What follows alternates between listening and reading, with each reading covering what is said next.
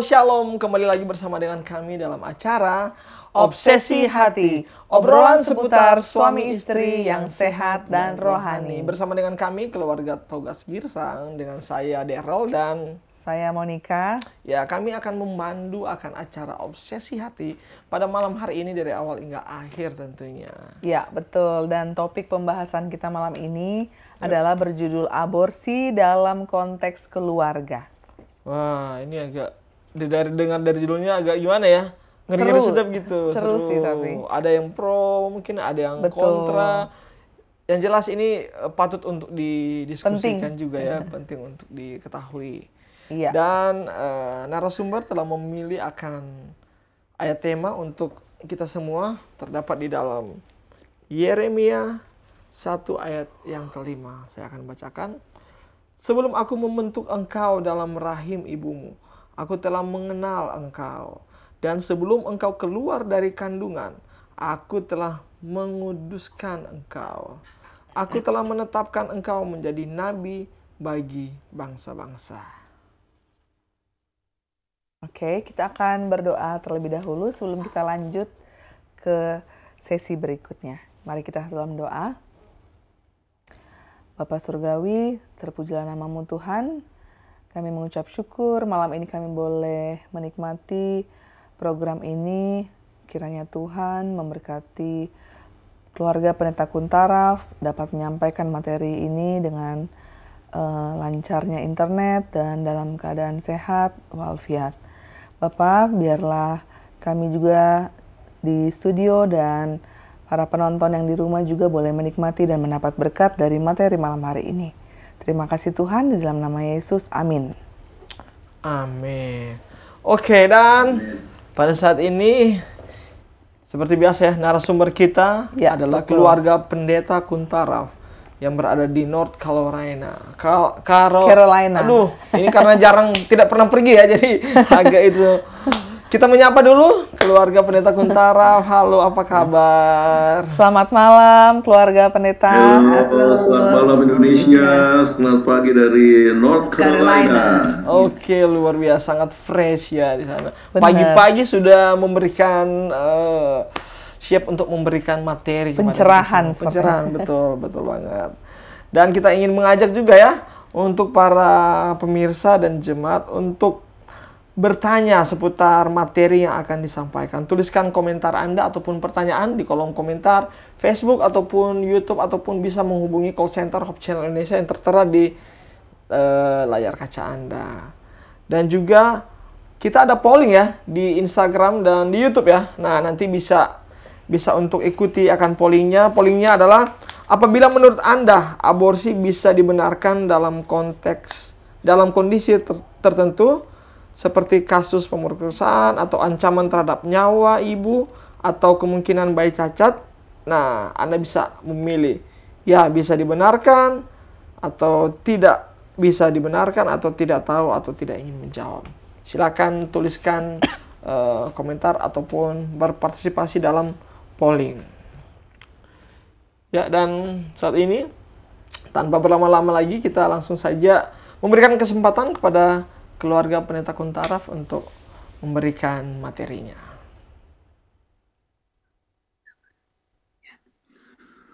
Baik pemirsa yang berbahagia, kami merasa senang oleh sebab eh, kami dimintakan untuk membahas aborsi dalam keluarga. Oke, satu hal yang sangat penting sekali, apalagi sekarang di Amerika ini sedang ada eh, eh, pemilihan apa namanya pemilihan umum, kemudian ini merupakan satu masalah yang sangat eh, krusial ya. Jadi menjadi isu antara dua partai yang sangat besar di Amerika ini ya, eh, yaitu Demokrat ya dan juga Republikan. Oke. Jadi itulah ya sebabnya kita rasa perlu sebab banyak juga di Indonesia yang ingin mengetahui lebih lanjut makanya kami telah diberikan akan judul ini untuk kita bahas oleh aborsi. pemirsa. Ya, Baik, aborsi dalam keluarga. Nah, ayat sudah dibacakan tadi bahwa Tuhan itu telah mengenal kita sebelum kita dilahirkan. dilahirkan ya sebelum aku membentuk engkau dalam rahim ibumu. Jadi kalau uh, demikian Tuhan sudah punya perencanaan sementara kita masih dalam kandungan ya, maka ini harus menjadi sesuatu bahan pemikiran yang jelas kepada kita apakah kita ya akan melakukan aborsi atau tidak bagaimana tindakannya secara secara etika dan sebagainya. Hmm. Baik, sebetulnya kita coba lihat dulu apa arti aborsi itu. Nah, aborsi ini menurut uh, ada dalam pengertian awam, orang awam ya, orang yang bukan medis adalah pengguguran kandungan yaitu keluarnya hasil konsepsi atau pembuahan sebelum waktunya. Jadi sebelum lahir, waktu lahir dia sudah keluarkan. Abortion dalam kamus Inggris Indonesia diterjemahkan dengan pengguguran kandungan. Nah, kalau kita baca dalam Black's Laws Dictionary, kata abortion yang diterjemahkan menjadi aborsi dalam bahasa Indonesia yang mengandung arti the spontaneous or artificially induced expulsion of an embryo or fetus. Dengan demikian, menurut Black's Laws Dictionary, aborsi ialah keluarnya embrio atau janin yang terjadi bukan secara alamiah, akan tetapi juga terjadi karena adanya campuran tangan atau dikatakan provokasi manusia. Nah, uh, sekarang kita coba lihat dari sisi medis apa yang dimaksudkan dengan ini ya. ya. Dalam pengertian medis, aborsi adalah terhentinya kehamilan dengan kematian dan pengeluaran janin pada usia kurang dari 24 minggu. Jadi sebelum 6 bulan. Dengan berat janin berat baby, berat janin fetus kurang dari 500 gram. Yaitu sebelum janin dapat hidup di luar kandungan secara mandiri. Ya, Aji mendefinisikan aborsi sebagai dikeluarkannya janin atau embrio sebelum waktunya, yaitu sebelum janin dapat hidup sendiri di luar uterus. Ini yang kita bisa lihat dalam Umar Seno Aji bab-bab tentang kedokteran forensik Jakarta Galia Indonesia 1984. Oke, okay. uh, eh, baik kembali itu dari sisi medis ya. Hmm. Kemudian kita coba lihat bahwa memang ada perbedaan antara aborsi dan keguguran. Iya. Yeah. Aborsi yang sering juga disebut pengguguran kandungan adalah terminasi atau penghentian kehamilan yang disengaja yang diprovokasi dengan berbagai macam cara sehingga terjadi pengeluaran janin yang menyebabkan kematian. Aborsi inilah yang sering disebut abortus provocatus. Sedangkan keguguran adalah kehamilan yang berhenti karena faktor-faktor alamiah. Jadi dengan demikian aborsi merupakan tindakan pembunuhan yang disengaja agar janin di dalam kandungan mati berbeda dengan keguguran. Oke. Okay. Nah, uh, sedangkan ada yang disebut abortus spontan yang diterjemahkan ke dalam bahasa Indonesia sebagai keguguran, itu tidak menimbulkan kontroversi dari segi etika moral maupun hukum karena terjadi secara alamiah, bukan dipicu dari luar. Jadi yang menjadi penelitian uh, ini ya yang kita coba bahas adalah jika pengeluaran janin karena kesengajaan atau yang disebut abortus, abortus provocatus. Oke. Okay. Nah, kita jadi kenal bahwa untuk aborsi ini ada dua macam ya, aborsi. Ya, abortus provocatus atau therapeuticus medicinalis adalah terminasi atau penghentian kehamilan yang dilakukan dengan alasan kedaruratan medis di mana aborsi ini menurut ilmu kedokteran terpaksa harus dilakukan untuk menyelamatkan ibu hamil atau keadaan di mana janinnya menderita penyakit genetik berat dan atau cacat bawaan yang tidak dapat diperbaiki sehingga menyulitkan bayi tersebut hidup di luar kandungan. Jadi inilah yang disebutkan dengan abortus provocatus. Oke, okay. nah uh, sekarang kita coba lihat apakah aborsi yang dapat diterima. Ya, okay. biasanya abortus provocatus terapeutika. Jadi dia dikeluarkan ya, tetapi untuk terapeutik, untuk pengobatan ya atau medisinalis. Ini dilakukan secara legal oleh dokter yang memiliki keahlian sesuai dengan standar profesi dan standar prosedur operasional medis yang dilakukan di fasilitas pelayanan kesehatan yang ditetapkan oleh Kementerian Kesehatan. Jadi merupakan aborsi yang aman yang tidak akan menyebabkan orang itu uh, uh, mendapat uh, negatif efek ya. Misalnya janin dalam kandungan menderita cacat berat atau dalam fisik maupun fungsi organnya seperti yang timbul akibat ibu sewaktu hamil menderita infeksi virus-virus tertentu. Misalnya dia mendapat uh, rubella infection, itu anaknya bisa jadi uh, buta, bisa jadi uh, uh, tuli lah, bisa dia punya jantung atau bisa kena dia punya suruhan syaraf dan sebagainya sehingga menjadi satu uh, keberatan untuk anak ini untuk hidup ya menjadi susah. Oke. Okay.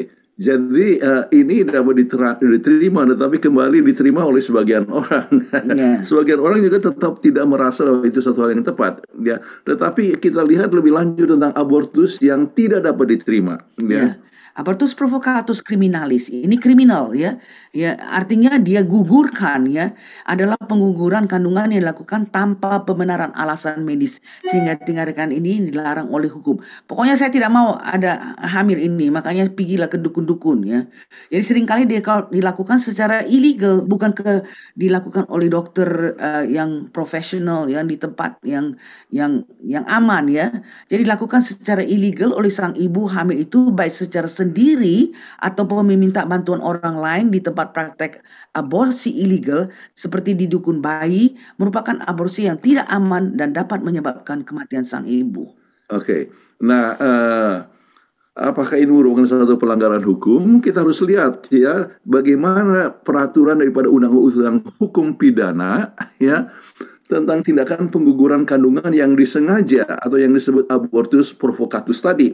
Dikatakan digolongkan ke dalam kejahatan terhadap nyawa ya hmm. bahkan dikatakan sebagai, sebagai berikut dia punya hukum ya barang siapa dengan sengaja mengobati seorang perempuan atau menyuruhnya supaya diobati dengan diberitahukan atau ditimbulkan harapan bahwa karena pengobatan itu hamilnya dapat digugurkan diancam dengan pen, uh, dengan pidana penjara paling lama empat tahun atau denda paling banyak tiga ribu rupiah. Ini sesuai dengan peraturan yang berlaku di Indonesia. Ya, yeah. ini uh, peraturan Indonesia untuk undang-undang hukum pidana. Ya, yeah. oke. Okay. Nah, tetapi bagaimana dengan tindakan darurat medis? Kita coba lihat ya lebih lanjut. Walaupun secara hukum segala tindakan aborsi itu dilarang, namun dalam Undang-Undang Nomor 23 Tahun 1992 tentang kesehatan pada pasal 15 dinyatakan bahwa dalam keadaan darurat sebagai upaya untuk menyelamatkan jiwa ibu hamil atau janinnya dapat dilakukan tindakan medis tertentu. Keadaan ini disebut sebagai kedaruratan medis. Misalnya kena preeklamsia. Jadi itu ibu kejang-kejang dan punya tekanan uh, darah yang tinggi sekali. Kalau enggak dia tolong ini, wah nanti dia bisa meninggal. Jadi itu keadaan darurat. Nah, itulah yang dikatakan secara hukum diperbolehkan, ya. Ya. Oke, okay. kemudian kita lihat sekarang prinsip-prinsip Alkitab. Okay. sebab kita uh, ini obsesi hati ya. Obrolan suami istri yang sehat dan rohani. Jadi mau tidak mau kita harus lihat prinsip daripada Alkitab. Hmm. Jadi apa yang dikatakan dalam Mazmur 139 ayat 13 sampai 16? Sebab engkaulah yang membentuk buah pinggangku, menenun aku dalam kandungan ibuku. Aku bersyukur kepadamu karena kejadianku dahsyat dan ajaib. Ajaib apa yang kau buat dan jiwaku benar-benar menyadarinya. Tulang-tulangku tidak terlindung bagimu ketika aku dijadikan di tempat yang tersembunyi dan aku direkam di bagian-bagian bumi yang paling bawah. Matamu melihat selagi aku bakal anak dan dalam kitabmu semuanya tertulis sehari-hari yang akan dibentuk sebelum ada satu pun daripadanya. Luar biasa sekali Alkitab berbicara bagaimana Tuhan ya mengetahui ya, mengetahui dan membentuk ya buah pinggang menurun aku dalam kandungan ibuku ya. ya jadi mata melihat selagi aku bakal anak ya. Hmm. Jadi sementara kita masih di dalam kandungan, Allah hmm. itu sudah melihat kita ya. Hmm. Luar biasa sekali. Kita coba lihat dalam Lukas 1 ayat 41 sampai 44. Ya, di mana ketika Maria bertemu Elizabeth, maka anak dalam kandungan Elizabeth melonjak kegirangan dan Elizabeth pun penuh dengan Roh Kudus dan mengatakan bahwa bayi yang ia kandung melonjak kegirangan. Artinya dia bisa merasakan movement daripada bayi ini. Dalam bahasa aslinya Elizabeth menggunakan kata bayi bukan janin yang dipakai juga dalam Lukas 2 ayat 16 dalam menyatakan bayi Yesus yang telah lahir.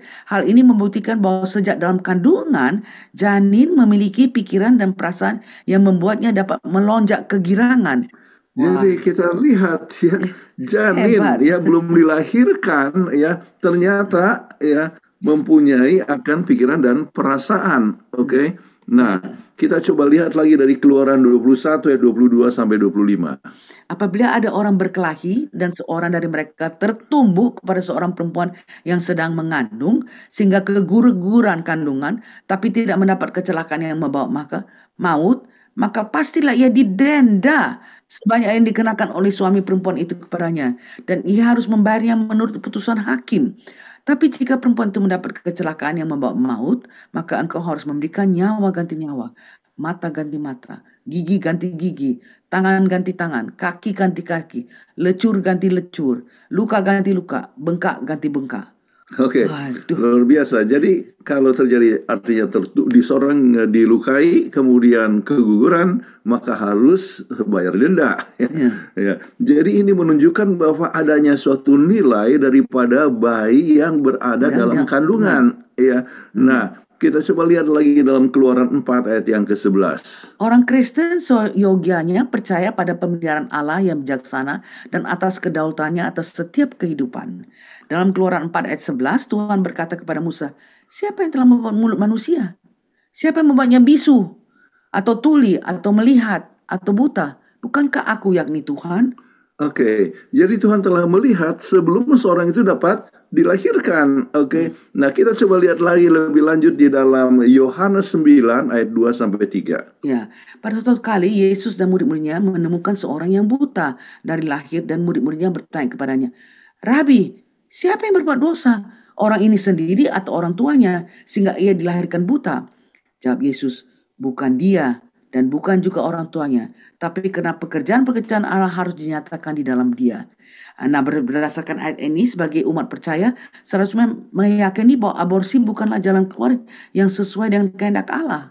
Ya, ini harus di, diketahui dengan eh, dengan jelas. Oke, nah sekarang bagaimana tentang janin yang dapat deteksi akan cacat? Ya, Iya.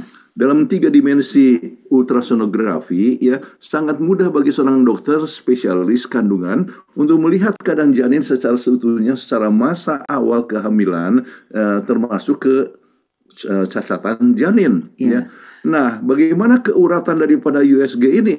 Ternyata hanya berapa persen? 70 persen. 70 persen. Oke. Nah, apakah tindakan eh, orang tua untuk memohonkan untuk eh, aborsi itu adalah satu hal yang bijaksana, ya. Kita coba lihat eh, lebih lanjut bagaimana kemajuan daripada teknologi ini. Dengan kemajuan teknologi, maka seorang dokter sudah dapat memprediksi kondisi bayi sesaat lahir. Oleh sebab itu, kemungkinan pertimbangan aborsi sudah mulai di ketika alat canggih USD 3 dimension ini muncul. Jadi orang bilang, oh ini sudah cacat ini. Tapi ingat tadi, dikatakan bahwa ini mendeteksi ini hanya mencapai 70%. Jadi nggak 100%. Makanya kita harus pertimbangkan. Ya, oke. Jadi masalah aborsi, ya. Jadi kembali tindakan aborsi masih merupakan isu perdebatan yang panjang. Secara, secara etika umum, aborsi dilakukan pada janin yang tidak memiliki masalah adalah hal yang Salah. salah. Itu berarti membunuh ya. Ya, Nah, Nah, tetapi dalam beberapa kasus aborsi diperbolehkan pada janin yang cacat dan pertimbangan situasi di mana anak akan dilahirkan dalam keadaan cacat fisik atau mentalnya akan berpengaruh negatif pada kehidupan sang anak maupun keluarganya ya. Jadi dengan pertimbangan tersebut ya jadi ini adalah suatu bahan pertimbangan atau bahan perdebatan. Ya. Jadi sekarang kita coba lihat dari pertimbangan etika. Oke. Jadi kalau dari pertimbangan secara medis kita sudah lihat ya. Oke, sekarang pertimbangan daripada etika. Dua pertimbangan aborsi yang cukup mendapat dukungan dari para ahli etika adalah satu, menghindari kecacatan fisik dan mental bagi si bayi. Tadi sudah kita terangkan ya. Terus menimbang kemampuan dari pihak orang tua dalam merawat bayi yang diterima. Jadi ini dua pertimbangan yang perlu kita pikirkan. Oke. Nah, eh, ke- kemudian kita coba lihat dari pertimbangan hukum. Ya. Ya, secara hukum seorang dokter diperbolehkan melakukan aborsi pada janin yang memiliki bukti kuat, memiliki penyakit dan cacat bawaan baik secara mental maupun fisik. Nah. Ini adalah sesuai dengan Direktorat uh, Direktorat Kesehatan Keluarga. Kesehatan ya tentang kesehatan reproduksi. Oke. Iya. Nah, sekarang kita kembali kepada etika Kristen Kristen, ya. Apa yang dikatakan oleh Michael Benner? Ya, dia seorang pakar keetika Kristen berpendapat bahwa aborsi atau penghancuran janin di dalam kandungan ialah pelanggaran terhadap kehidupan yang telah Tuhan berikan kepada manusia. Tuhan telah memberikan nafas kehidupan kepada janin manusia, namun bila seorang melakukan aborsi berarti orang tersebut sudah membunuh. Oke, Ya. Eh, jadi ini berdasarkan juga kepada Alkitab eh, ayat-ayat Yang Alkitab yang, tadi sudah sudah kita, kita bahas. baca. Lihat tadi. Nah, sekarang kontroversi mengenai ja- eh, status janin itu, Hmm. status janin mengerucut ke dalam Dua eh, hal. dua hal ya. Pertama, apakah janin itu disebut manusia atau bukan? Kedua, jika janin itu adalah manusia, apakah aborsi diperbolehkan atau, Atau tidak? tidak? Ya. Jadi ini eh, yang menjadi perdebatan kapan disebut manusia. Ya. Nah sekarang kapan janin disebut manusia? Perbedaan pendapat tentang masalah aborsi ini tidak dapat dilepaskan dari prinsip dasar tentang kapan sebenarnya janin itu sudah dianggap manusia yang hidup sehingga setiap orang yang hendak membunuhnya disebut orang jahat dan sudah melanggar hukum alam. Nah, perdebatan panjang berkaitan dengan ini meliputi tiga orientasi pokok. Ada orang yang mempunyai pendirian konservatif, ada yang mempunyai pendirian liberal, ada yang mempunyai pendirian moderat. Oke, ini yang kita akan coba bahas bersama-sama. Alright. Baik, pertama pendirian konservatif. Hmm. Jadi pendirian konservatif berpendapat bahwa aborsi tidak boleh dilakukan dalam keadaan apa pun juga sebab dianggap merupakan tindakan yang sama sekali tidak bermoral karena melanggar kaidah-kaidah universal pada hakikatnya merupakan pencerminan daripada kodrat manusia ya. Dan ini merupakan pemusnahan kehidupan manusia yang tidak bersalah. Karena fetus itu kan nggak bersalah. Nah inilah adalah pendirian atau pemikiran orang-orang yang konservatif. Yang konservatif, oke. Nah sekarang pendiri- eh, pendirian liberal, Ya, dia memperbolehkan aborsi dalam keadaan yang berbeda tergantung sebab dan alasan yang melatar belakangi. Jadi pada orang liberal katakan aborsi itu boleh, ya, Iya. apa pun alasannya ya. Oke, kemudian pembenaran pendirian eh, liberal ini begini, ya, pembenaran aborsi hanya untuk kepentingan pelaku yang dalam melakukan aborsi dengan alasan tertentu, ya, misalnya karena alasan kualitas hidup janin, Hmm. ya, keadaan kesehatan fisik dan mental ibu, ya, hak wanita atas integritas badani, ya, seperti dikatakan bahwa kita bertanggung jawab untuk Badan eh, kita. badan kita sendiri. Kenapa harus pemerintah ikut mencampuri apa yang terjadi dengan tubuh saya. Oke, jadi kejahatan keluarga. Dan Eh, kesejahteraan kesejahteraan keluarga.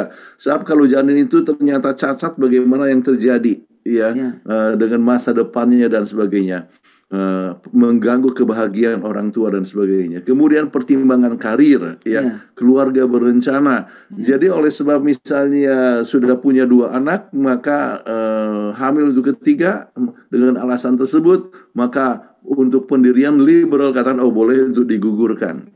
Ya, jadi alasan ini lebih pada kepentingan orang orang di luar si janin. Jadi tidak memikirkan baby fetus ya daripada menjaga kelangsungan hidup si janin. Oke. Inilah pen- eh, prinsip atau pembenaran pendirian orang yang mempunyai liberal opinion. Nah, nah, sekarang kita coba lihat secara moderat. Pendirian moderat mencari jalan tengah atau posisi tengah yang berusaha menjembatani perdebatan di atas. ya. Ya. Jadi pertama adalah menyetujui kemungkinan legitimasi moral bagi beberapa macam tindakan aborsi sebagaimana penderitaan liberal ya. Tetapi penderitaan moderat tidak pernah turut mengakui penderitaan ataupun rasa bersalah pada pihak sang ibu maupun janin ya. Ya.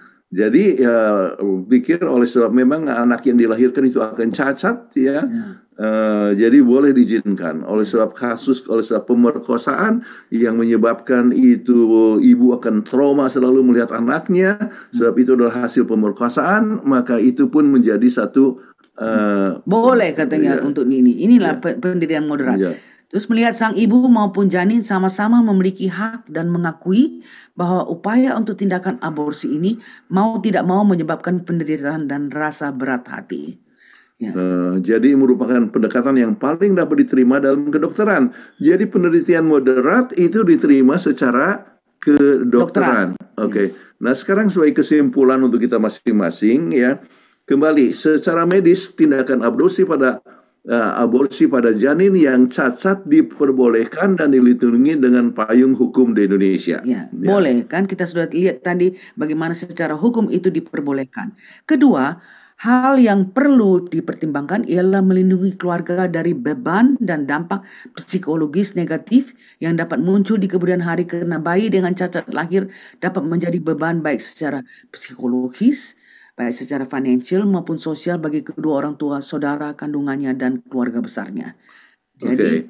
boleh katanya. Jadi, nah untuk menghindari hal-hal tersebut maka secara medis dan hukum di Indonesia tindakan aborsi pada janin yang cacat diperbolehkan dan dilegalkan. Legalkan. Kembali itu adalah secara hukum pemerintah. Namun walaupun secara medis dan hukum tindakan aborsi pada janin yang cacat diperbolehkan dan dilegalkan bukan berarti dengan serta merta ini dibenarkan secara etika Kristen dari paparan pembahasan yang telah diuraikan di atas yang tadi kita sudah bacakan ayat-ayatnya dengan jelas dapat dilihat bahwa aborsi dengan alasan apa pun termasuk di dalamnya aborsi dengan indikasi bahwa janin yang akan dilahirkan akan menderita cacat lahir jelas tidak diperbolehkan dalam Alkitab.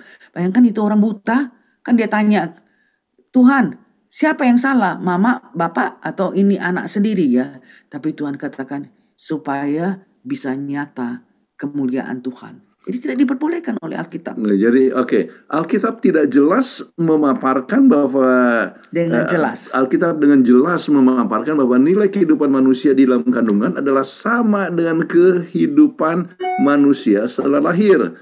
Sehingga aborsi adalah tindakan pembunuhan manusia yang secara tegas dilarang dalam Alkitab. Ya. Jadi ini uh, poin yang sangat penting untuk kita uh, uh, renungkan ya.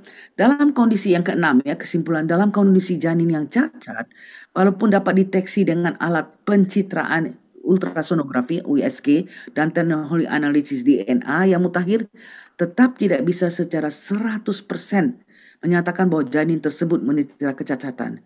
Banyak pula bayi yang pada akhirnya lahir normal setelah didiagnosis semacam itu kemungkinan besar cacat lahir sangat kecil efeknya dan tidak memiliki dampak signifikan pada kehidupan anak. Jadi biarpun sudah ada USG atau ultrasonografi yang katakan itu, ingatlah hanya 70%. Ya. Jadi bisa saja ini anak lahir dengan normal. Jadi kalau sudah di diaborsikan berarti kita sudah membunuh. Oke. Okay. Jadi inilah uh, kesimpulan yang kami dapat berikan ya dan sekarang kita coba lihat kepada sesi berikut.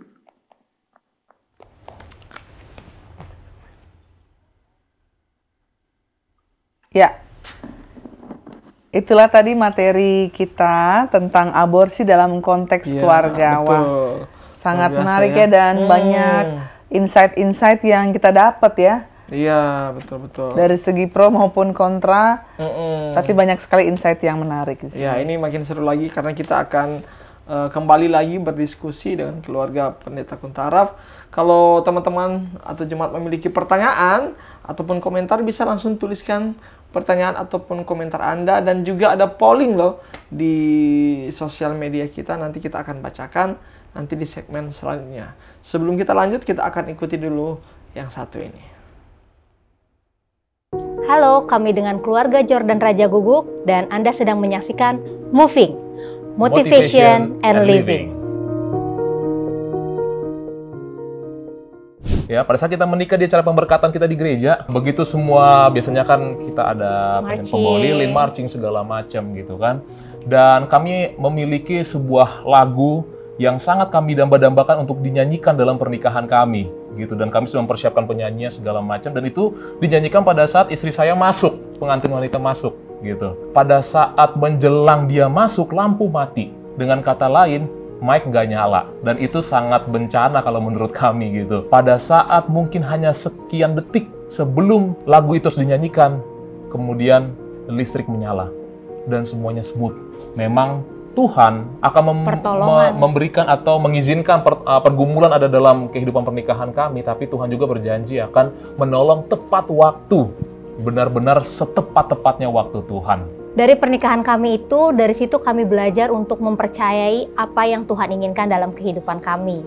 Nah, pada saat itu kami sudah ingin sekali mempunyai anak, tapi kami teringat akan pernikahan kami. Jadi kami percaya bahwa Tuhan akan memberikan anak tepat pada waktunya. Dan benar, tepat anniversary satu tahun kami, kami dikaruniakan berita bahwa saya hamil. Dan pada saat itu tentunya sebagai seorang calon ayah dan ibu yang baru, kami benar-benar mempersiapkan segala sesuatunya, berencana untuk lahiran normal, memberdayakan memberdayakan seluruh tenaga, seluruh apa yang kami bisa untuk bisa melahirkan secara normal. Pada saat menjelang detik-detik uh, kelahiran ya satu bulan atau udah bulan ke-8, tiba-tiba pendeta kami di gereja mengatakan kepada saya, Pak Jordan, kita akan ada KKR. Boleh nggak kita combine yang bicara khotbahnya, pendeta dan juga anggota awam. Pak Jordan yang mewakili awam, saya mewakili pendeta, kata pendeta. Kemudian saya teringat loh, di bulan itu anak saya akan lahir, walaupun saya nggak tahu mungkin tanggal berapa lahir, tapi sebenarnya udah, udah mau menolak ini ya, udah sangat mau menolak. Ternyata setelah kami berbincang, akhirnya kami memutuskan, oke, okay, jangan menolak pelayanan. Kita percaya bahwa Tuhan pasti akan memberikan yang terbaik, menolong tepat pada waktunya, dan akan mengatur bagaimana anak kami lahir. Kita putuskan, oke, okay, kita terima uh, pelayanannya yang ditawarkan oleh pendeta, dan saya akan berkhotbah di KKR tersebut dari hari pertama sampai hari ketiga. Dan tanpa suami saya tahu, sebenarnya saya sudah ada dealing sama anak saya gitu, bahwa anak saya ketika saya tanya mau lahiran kapan, dia memberikan kode gitu kalau mau lahirnya tanggal 21 Juli tepat di mana jadwal hari pertama suami saya akan berkhotbah. Tapi dengan uh, berdoa kami memutuskan untuk tetap menjalankan pelayanan Tuhan. Yes, dan pada tiba di tanggal 21 Juli yang di mana itu adalah satu hari atau hari pertama tuh hari KKR, di situ pagi-paginya kita masih berolahraga ya. Masih olahraga. Masih olahraga. Terus masih... setelah olahraga, Jordan masih uh, mempersiapkan krep bayinya. Ya uh, memasang.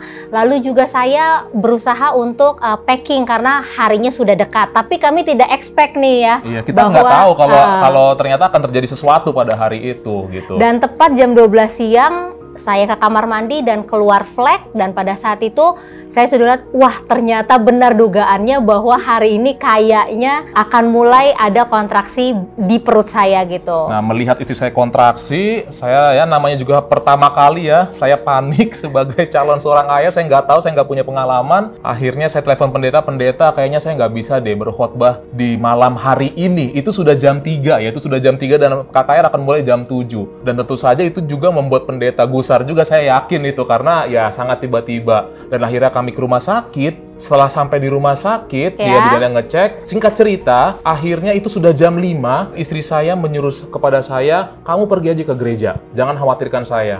Saya antara mau menolak atau tidak, saya langsung pergi ke gereja, saya ngebut dengan mobil waktu itu, kemudian saya berkhotbah, ya tentu saja dengan keadaan yang tidak baik sejujurnya pada saat itu, tetapi saya percaya bahwa kelahiran anak saya tidak akan pernah bisa menghalangi pelayanan saya pada Tuhan. Itulah ada janji saya pada Tuhan waktu itu. Setelah khotbah, saya langsung ngebut lagi ke rumah sakit. Di perjalanan, tiba-tiba uh, mertua saya mengatakan bahwa ada gawat janin nih, ada masalah dengan jantungnya. Saya nggak tahu persis pada waktu itu apa. Padahal pada saat itu sudah pembukaan gitu. Jadi pada saat uh, Jordan datang ke rumah sakit tepat saatnya dokter sudah memberikan surat untuk yes. ditandatangani dan akhirnya kami memutuskan untuk menandatanganinya dan uh, puji Tuhan anak pertama kami telah lahir Jeraya Abdiel Raja Guguk pada saat itu di jam 11 malam. Jadi yang mau kami beritahukan di sini adalah bagaimana bahwa anak itu adalah berkat dan saya teringat selalu dengan kutipan uh, hamba Tuhan Ellen White yang mengatakan bahwa kita tidak perlu takut akan hari ke depan kalau kita selalu mengingat bagaimana Tuhan selalu menolong kita di hari yang lalu.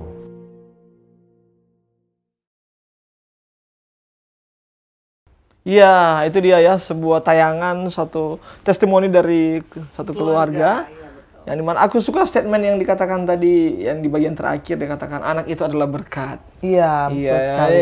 Ini related juga ya dengan topik kita pada malam ini ya aborsi dalam konteks, konteks keluarga. keluarga. Oke, dan pada saat ini kita uh, tadi kita sudah mendengarkan akan materi yang telah disampaikan. Kami juga encourage kalau masih memiliki pertanyaan ya. Iya. Boleh dikirimkan ke mana? Boleh dikirimkan ke kolom komentar yeah. di Facebook maupun YouTube dan juga boleh langsung ke nomor call center kita. Iya. Nah, saat ini kita akan mengikuti uh, pertanyaan ataupun tanggapan dari teman-teman sahabat Hope Channel yang sudah kita tanyakan. Ini dia. Yang pertama adalah apakah Anda setuju dengan aborsi? Kalau ya, dalam hal apa kira-kira? Mari kita saksikan bersama.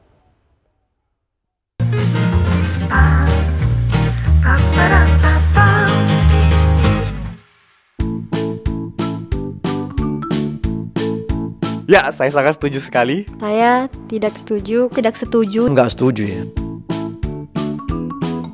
Karena itu pembunuhan sih menurut aku. Karena itu adalah se suatu hal yang dilanggar oleh uh, pemerintah dan terutama kepada Tuhan.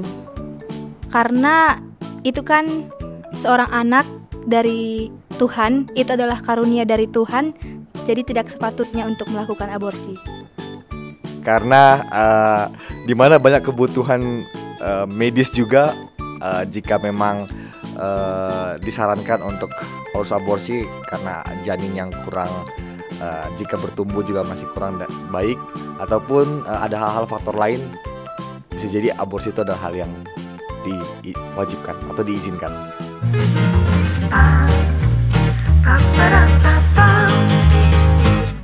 Nah, itu dia tadi ya. Ada beberapa menarik yang ya ada yang setuju, setuju dan ada yang tidak setuju. ada yang tidak setuju. Kalau dari Monica sendiri? Saya setuju aja sih. Wah wow, seru ini. Kenapa? Iya. dalam hal apa gitu misalnya kalau apalagi setelah mendengar materi dari keluarga pendeta. Hmm, dalam hal apa? Misalnya dalam case seperti apa? Setuju untuk uh, misalnya didapati anak tersebut dalam kandungan uh, membahayakan dirinya sendiri maupun ibunya hmm. ya menurut saya lebih baik case mau tidak mau diaborsi. Oh, oke oke oke. Iya. Ya, nah kita langsung di yang kedua. Iya betul. Lihat. Kita dengarkan apa kata teman-teman kita untuk pertanyaan nomor dua. Jika anda dihadapkan dengan sebuah pilihan antara aborsi atau tidak, ketika terlihat di USG bayi yang akan lahir kemungkinan cacat, apa yang akan anda lakukan? Nah, ini Wah. langsung case ini ya. Betul. Case tadi. Oke. Okay.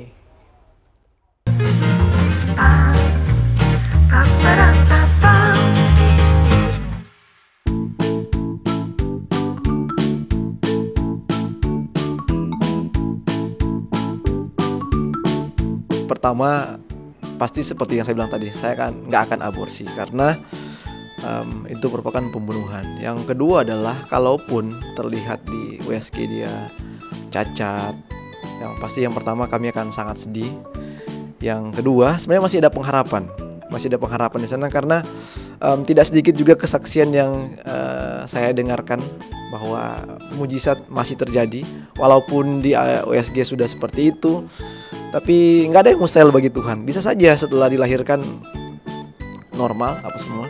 Bahkan itu pun masih um, di dalam dan di luar ya.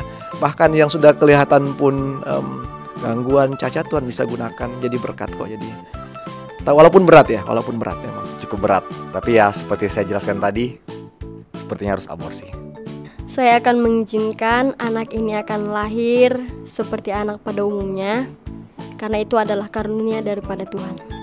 Menurut saya, saya tetap uh, tidak tidak melakukan aborsi karena ya saya percaya sekalipun anak itu cacat, tapi saya percaya Tuhan akan memberikan atau menjadikan anak itu menjadi berkat dalam kehidupan saya.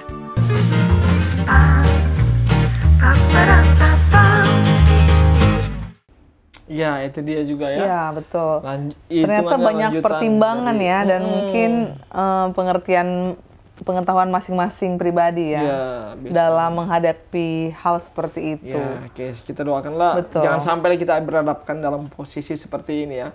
Tapi saya ingin uh, kita ingin bertanya kepada keluarga pendeta Kuntaraf e, mengenai kasus-kasus ini. Mungkin contoh kan keluarga pendeta Kuntaraf e, banyak sekali kenalan ataupun sudah e, berpengalaman, berpengalaman. Ya. dalam ini mem mem juga merupakan dokter. Pernah nggak sih menemukan kasus-kasus di mana hampir sama seperti ini di mana mereka itu harus bergumul. Iya bergumul mem atau pendeta dalam menentukan apakah ini harus diaborsi atau tidak. Mungkin bisa berikan kesaksian ataupun pengalaman yang didapati di mission fieldnya. Oke, okay. uh, eh, saya punya teman Bahkan dia pernah bekerja di uh, Universitas Advent Indonesia sebagai dosen, ya, namanya Shirley Luch, ya.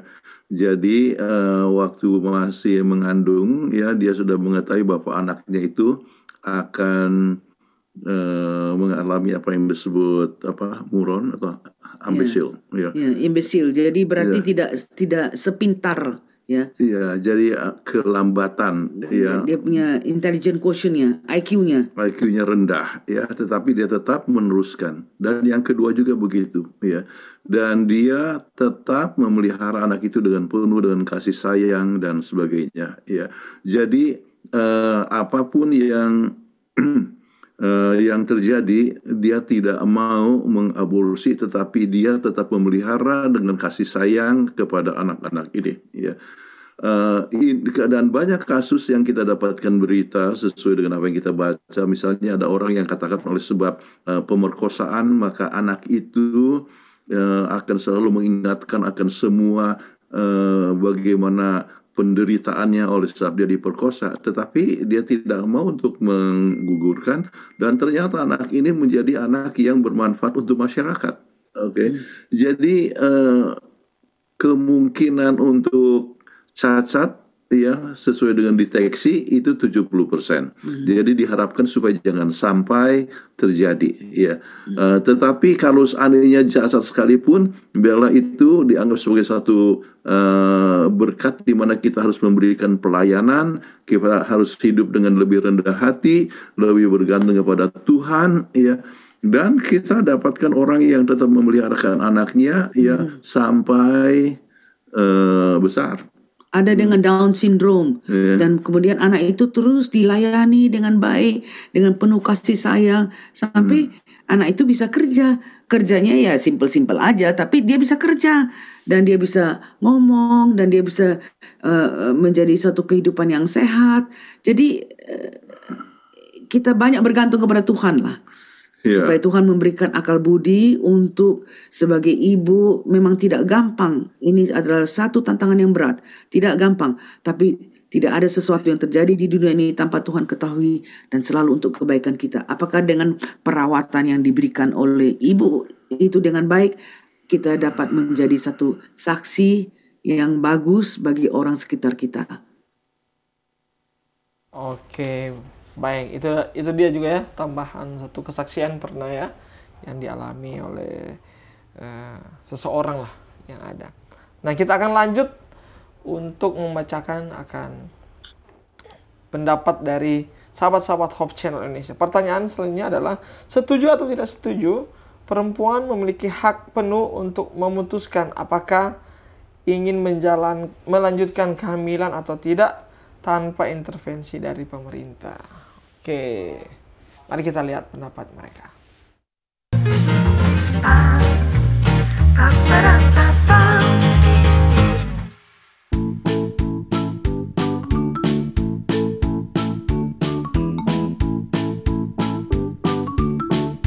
Kalau dari sisi saya sih sangat menghargai em, setiap saran dan anjuran yang diberikan oleh pemerintah.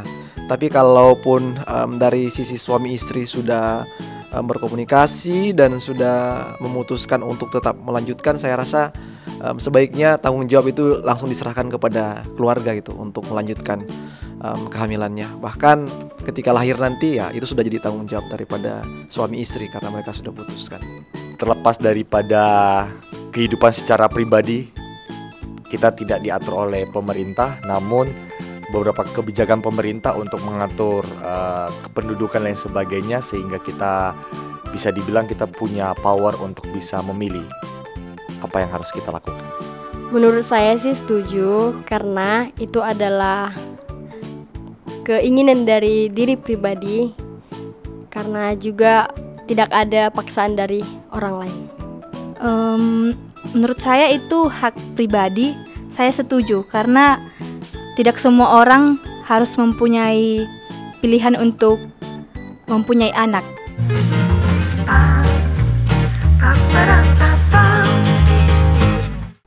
Ya, bagus sekali ya pendapat teman-teman kita. Eh, mungkin agak berat juga mereka dalam menyampaikan Betul juga karena ini, eh, pendapat ini ini, case ya. yang lumayan berat ya untuk kita. Case yang langka dan perlu uh, pem- pengertian kebijaksanaan yang cukup ya. Dan Betul. menurut saya mungkin orang tua yang mungkin dikaruniai anak dan mau menerima anak yang cacat itu saya rasa orang tua yang memiliki double portion of Iya, faith betul sih. and Hmm. strength kali ya. Luar biasa sih itu bagaimana Seperti yang dikatakan oleh kehidupan keluarga tersebut. Kuntaruf tadi Iya. yang memang harus banyak eh, berdoa, Mengandalkan banyak Tuhan. eh, mengandalkan Tuhan dalam kehidupan Betul. mereka. Ya, kita lanjut. Eh, apa kata teman-teman kita untuk pertanyaan terakhir nomor 4, bagaimana cara terbaik menurut Anda untuk mencegah kehamilan yang tidak diinginkan sehingga aborsi tidak menjadi pilihan? Oke. Kita saksikan.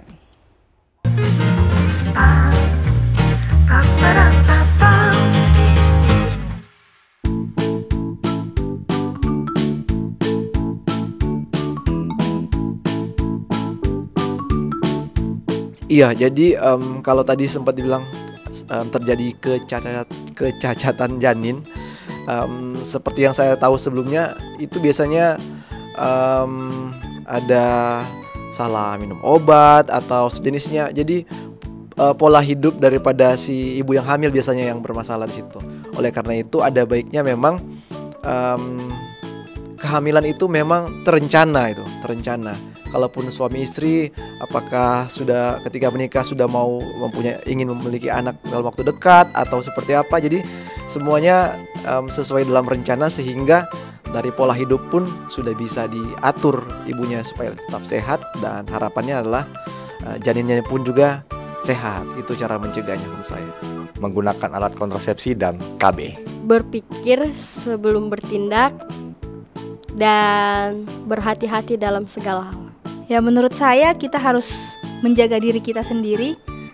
Apalagi di zaman sekarang kan sudah banyak anak muda yang eh, jauh dari Tuhan, ya itu yang membuat kita menjadi semakin terjerumus akan eh, kesesatan orang-orang muda zaman sekarang.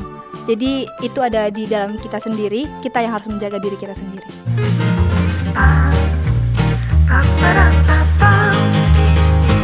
Itu dia tanggapan dari teman-teman. Kita akan lanjutkan akan diskusi kami bersama dengan keluarga pendeta Kuntaraf tentunya dalam acara obsesi hati ini setelah yang satu ini.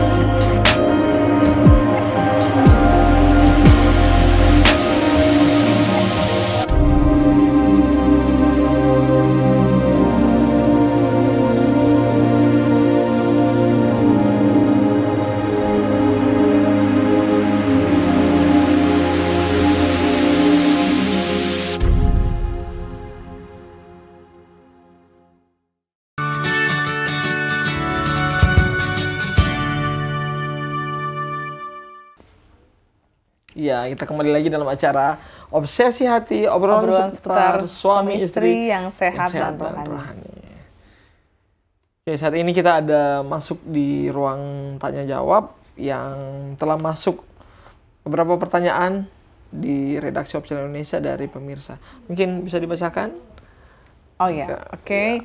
Eh, kepada keluarga pendeta, di sini ada pertanyaan. Pendeta dan Mem, saya mau bertanya, bagaimana dengan orang yang hamil di luar nikah sehingga dia mengaborsi atau menggugurkan janinnya, lalu ketika orang tersebut beranjak dewasa dan menikah, malah tidak dikaruniai seorang anak. Nah, bagaimana de- pendeta dengan case seperti ini? Apakah benar Tuhan sudah tidak mau memberikan anak karena pernah mengaborsi atau meng- menggugurkan bayinya?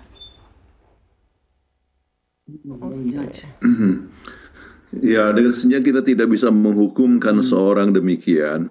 Namun eh, kalau seorang itu mengaborsi, ya, maka uh, bisa saja terjadi kerusakan-kerusakan di dalam Rahimnya. uh, rahimnya ya. Jadi kerusakan rahim itulah yang menyebabkan sampai dia misalnya sukar untuk mendapatkan anak. Eh, jadi eh, kembali kalau misalnya hamil di luar nikah itu bukan berarti juga anak itu harus digugurkan. Hmm. Ya, Em, anak itu mempunyai hak untuk hidup. Ya, jadi kalau saja tetap dilahirkan, ya walaupun mungkin orang tua malu dan sebagainya, tetapi anak itu bisa dilahir eh, bisa tetap dilahirkan dan mungkin diberikan kepada mereka yang memerlukan anak. Iya. Banyak sekali orang yang, Yang mau ingin- adopsi. yang adopsi, banyak sekali orang yang ingin punya anak. Hmm. Dan anak ini ya kalau dia tetap dipelihara oleh ibunya yang eh, belum dewasa mungkin ya dari berdasarkan pertanyaan ini kelihatannya dia mungkin masih remaja ya Eh, jadi belum dewasa. Jadi dia belum siap untuk menjadi orang tua. Tetapi ada orang tua yang bisa memberikan kasih sayang ya sehingga anak itu bisa belajar dengan baik ya kemudian bisa tumbuh ya menjadi orang-orang yang berguna untuk masyarakat. Eh, kebetulan eh, saya mengadakan penelitian banyak tentang anak-anak panti asuhan ya jadi anak-anak panti asuhan banyak sekali orang yang dibuang oleh orang tuanya atau orang tuanya tidak peduli ya. Eh, oleh sal- eh, oleh sebab eh, bapaknya tidak bertanggung jawab dia menikah dan orang lain anak itu tidak dipedulikan. Tetapi ya dari anak panti asuhan yang kami kelola sekarang ini ya sudah ada 118 orang yang tamat sarja- dari universitas artinya sarjana dari kami punya panti asuhan Yayasan Advent Peduli Indonesia di, di mana kita ada sekarang beroperasi eh, sembilan, tetapi kita sudah ada yang ke sepuluh yang tinggal siap untuk beroperasi. Baik. Eh, jadi eh, jangan eh, menghukumkan, tetapi ke- kemudian kembali kalau seandainya terjadi pernikahan atau hamil di, Di luar nikah, pernikahan. jangan digugurkan. Itu adalah satu pelanggaran. Dan jangan kita menghakimkan kalau dia tidak bisa punya anak. anak. Tetapi mungkin harus berobat kepada dokter Hmm. ya supaya bagaimana caranya untuk mendapatkan anak. Mungkin saja dia harus eh, menggunakan sistem yang lain itu mungkin bayi tabung Tabungan. ataupun inseminasi dan sebagainya. Ya, itu dia ya tangga- tanggapan ataupun jawaban kiranya dapat menjawab ya akan pertanyaan yang Betul. telah ditanyakan. Oke, sayang sekali ini waktu kita sangat terbatas. Kita langsung kepada polling yang sudah kita ambil. Menarik nih jawaban dari polling karena jawabannya hampir-hampir sama banyak semuanya ya. Pertanyaannya, apakah menurut Anda aborsi bisa dibenarkan dalam kondisi tertentu seperti kasus pemerkosaan atau ancaman terhadap nyawa nyawa ibu atau kemungkinan bayi cacat? Dan pilihan jawabannya yang jawab ya bisa dibenarkan itu ada 29%. 29% dan Tidak tidak bisa dibenarkan 36%. 30% dan menjawab tidak tahu atau tidak ingin menjawab 36%. ada 36%. Wah, hampir sama nih ya.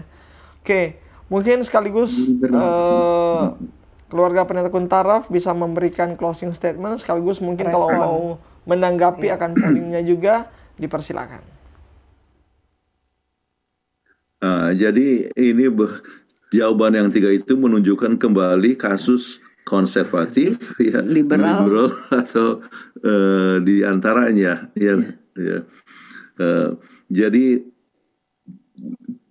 kebetulan kalau kita gunakan prinsip Alkitab sebenarnya semua bayi dalam kandungan itu mempunyai hak untuk hidup, ya, maka tidak boleh dibenarkan akan adanya suatu pengguguran, ya.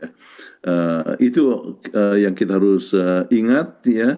Dan eh, kalau kecuali kasus yang memang eh, sangat pelik misalnya nyawa ibu sudah tidak bisa lagi eh, dipertahankan kecuali terjadi pengguguran. Ya jadi mungkin kasus itu yang tetapi persentasenya itu sangat kecil sekali ya. Oke. Dan jangan lupa eh, bahwa i- eh, perempuan itu harus selalu menghidupkan kehidupan yang sehat, termasuk vaksinasi, vaksinasi MMR, mumps measles dan rubella supaya anak yang dikandungnya tidak cacat. Sehingga kita selalu persiapkan dengan terbaik sebelum kita mempunyai uh, pregnancy. Oke. Jadi kembali uh, biarlah dalam keputusan yang kita ambil keputusan yang berdasarkan uh, Alkitab, Alkitab menunjukkan moralitas yang tinggi. Dengan demikian apa pun rencana Tuhan kepada kita kita dapat ikuti ya sekalipun akan menjadi satu beban kepada orang tua kalau anak itu dilahirkan. Ya. Baik, uh, itulah yang uh, kesimpulan yang saya bisa berikan. Terima kasih keluarga Pendeta Kuntaraf uh, dan saat ini kita akan menutup rangkaian acara kita malam hari ini dengan doa tutup. Kami minta kesediaan Ibu Kuntaraf untuk membawakan doa. Ya, mari sama-sama kita berdoa. Bapa kami yang bertahta dalam kerjaan surga, terima kasih karena Tuhan telah memberikan kesehatan kepada kami masing-masing, sehingga kami dapat menyampaikan presentasi mengenai aborsi dalam keluarga dalam acara obsesi hati ini. Tuhan, biarlah Tuhan memberikan kebijaksanaan bagi kami yang pendengarnya, sehingga kami dapat bertindak segala sesuatu sesuai dengan kehendak Tuhan. Terima kasih Engkau telah mendengarkan doa kami, kami serahkan ini demi nama Kristus, Juru Selamat dan Penebus kami. Amin. Amin. Amin. Puji Tuhan. Luar biasa sekali ya. Sekali lagi kami ucapkan terima kasih buat narasumber yang telah berpartisipasi keluarga pendeta Kuntara pada malam hari ini yang selalu memberikan eh, seminar-seminar uh, ataupun materi-materi yang sangat baik untuk keluarga kita ya keluarga yang hidup di akhir zaman ini kiranya kita dapat mengambil maknanya yang lebih bijaksana lagi dalam menjalani akan kehidupan ini. Kami juga memohon maaf mungkin apabila ada kesalahan atau uh, salah dalam pengucapan ataupun kendala teknis dan mungkin tingkah laku ya. Iya, dan sebagainya ya. Dan juga tetap saksikan tayangan-tayangan Hope Channel Indonesia, televisi yang mengubah hidup kita semua. Ya, akhir kata kami keluarga Tugas Kirsang, saya Daryl dan bersama dengan istri saya. Saya Monica beserta seluruh kru yang melayani pada saat ini ingin mengucapkan sampai, jumpa, sehat selalu dan Tuhan, memberkati. Bye.